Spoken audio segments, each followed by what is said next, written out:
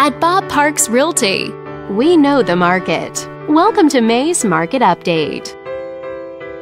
Let's take a look at residential real estate activity in your area during the month of April. The number of active listings was down 20% from one year earlier and down 7% from the previous month.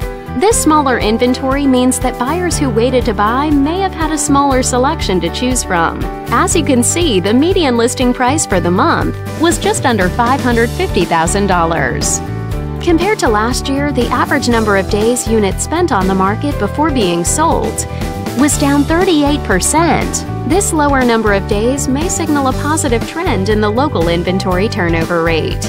The median sale price was just under $460,000. The number of units sold was consistent year over year and decreased 30% month over month. This latest figure means that buyers had a more limited selection of homes to choose from compared to the previous month.